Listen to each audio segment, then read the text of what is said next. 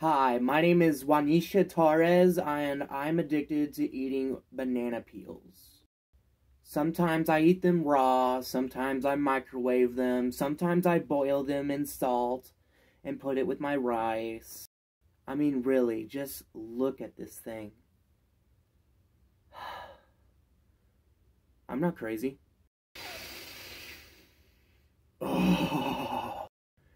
Yeah, my parents say I'm only doing it for attention, but honestly, it's just a really bad addiction that I've been suffering with for a really long time.